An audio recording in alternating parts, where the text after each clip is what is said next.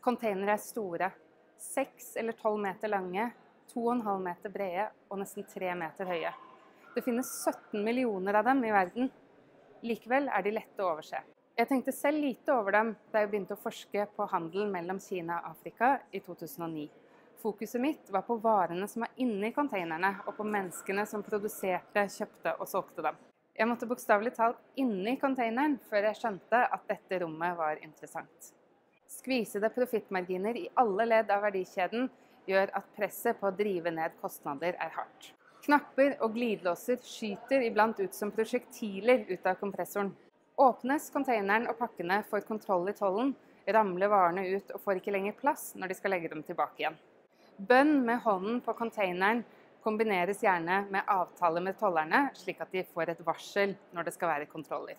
Noen har ikke råd til å sende en full container, Derfor selger logistikkagentene containerplass per kubikkmeter. Eksport fra Kina til Afrika er preget av mange små aktører som jobber med små profittmarginer og store volumer. På avstand ligner dette det økonomene kaller et perfekt marked. Kommer man tett på, så blir man slått av kreativiteten som preger aktørene. De mangfoldige strategiene de utvikler for å klare seg i dette markedet.